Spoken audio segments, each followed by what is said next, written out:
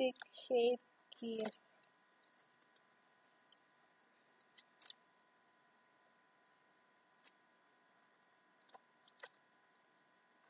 basic shape keys ada di segitiga tambahin. Bikin basis ini buat dasarnya.